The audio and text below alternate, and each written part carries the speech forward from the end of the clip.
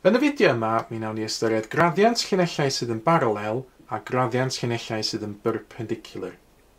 Nawr llinellau paralel yn gyntaf, dydy hein byth yn cyfarfod. Pyd ni'n llunio llinellau paralel ar bapur, fel arfer dyn ni'n dangos fod y llinellau yn baralel trwy ddefnyddio seithau fel dyn ni weld yn awr ar y sgrin. A mae synwyr cyffredin yn deithio ni fod llinellau paralel hefo union yr un graddiant – Felly, ar gyfer yr enghraifft ar y sgrin yn awr, os yw graddiant y llinell uchaf yn dydyn ni chwatar, yna i fod yn baralel, byddai rhaid i'r graddiant y llinell isaf hefyd fod yn chwarter. Felly mae haid i linellau paralel gael union yr un graddiant. Mae pethau bach mwy cymleth efo llinellau perpendicular. Nawr ystyr llinellau perpendicular yn gyntaf, mae dwy linell yn perpendicular os ydyn nhw yn cyfarfod ar ongl sgwar, sef ongl 90 gradd. Ac os di hynna yn digwydd, yna mae graddiant y llinellau perpendicular yna yn lliosi i reid yr rhif minus 1. Nawr, er enghraifft, mae gen i fi ddwy linell ar y sgrin yn awr. Mae gen i ni linell fan hyn sydd efo graddiant hanner, ac yna llinell arall yn mynd ffordd yma hefo graddiant minus 2. Nawr i ddangos fod hein yn linellau perpendicular, so ni'n gallu ceisio lliosi y ddau radiant, hanner lliosi efo minus 2, a gan fod hynna yn trallian i fod yn minus 1, yna dwi yn gallu deud fod y llinellau yma yn perpendicular, yn cyfarfod ar ongl sgwar, mynd ei ddangos hynny drwy ddefnyddio onglydd i fesur y ongl yma fan hyn, a dyn ni'n gallu gweld yn yr achos yma fod yr ongl yn 90 grad. Felly, os ydych chi'n gwybod graddiant dwy linell, lluoswch y ddau raddiant. Os ydych chi'n cael ateb y minus 1, ydych chi'n gwybod wedyn fod y llinellau yn perpendicular. Os gewch chi ateb gwahanol, ydych chi'n gwybod fod y llinellau ddim yn perpendicular. Nawr, dyn ni'n gallu defnyddio'r syniad yma fod graddiant llinellau perpendicular yn lliosi i reid minus 1 i ateb cwestiynau fel hyn, lle dyn ni cael yn yr achos gyntaf graddiant llinell yn fan hyn sydd yn 7, a mae'n gofyn iddyn ni ffeindio graddiant llinell sydd yn perpendicular i'r linell yma. Oherwydd, os ydy graddiant llinellau perpendicular yn lliosi reid minus 1, yna mae wir dweud fod un graddiant yn negatif cilydd y llall.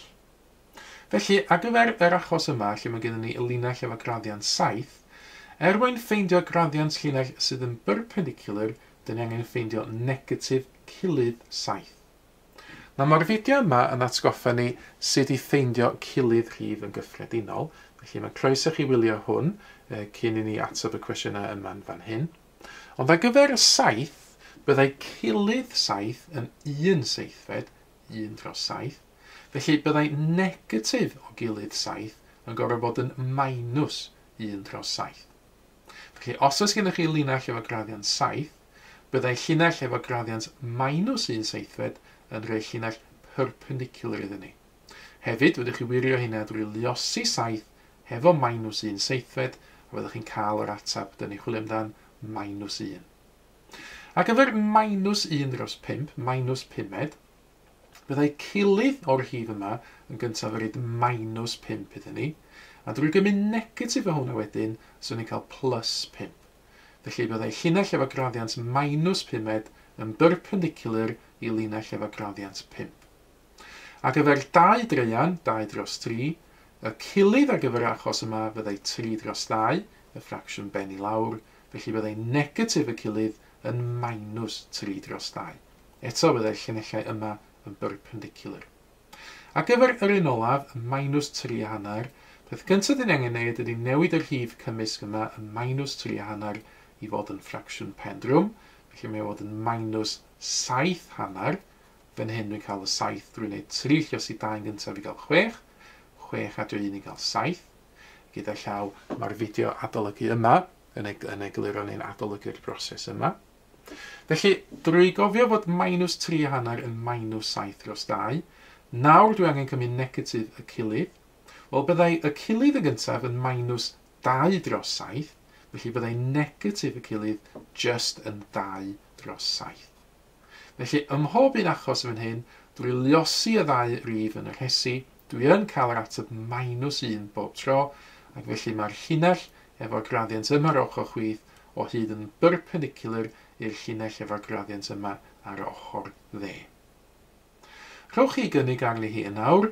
Mae yna dabl tebyg iddo chi lenwi yn, yn wedi ymddangos ar y sgrin. Meddyliwch beth sy'n rhaid i'r rhifau coll fod yn y tabl yma. Dych chi'n chwilio amdan rhif yr yn y tabl sydd yn lliosi efo'r rhif ar ochr chwith i wneud minus 1. A cofiwch e, defnyddio negatif y cilydd dych chi angen wneud efo'n yma. Pyd ydych chi wedi meddwl am eich atab chi, gwiriwch eich atab wedyn yn erbyn yr atebion cywir sydd yn awr yn cael ei dangos ar y sgrin. Mae mwy o fideos adolygu ar gael ar ein sianel YouTube Adolygu Mathemateg. Am y newyddion diweddaraf neu holi cwestiwn, dilynwch ein cyfrif trydar at mathemateg. Neu ewch i'n gwefan www.mathemateg.com am fwy o adnoddau adolygu.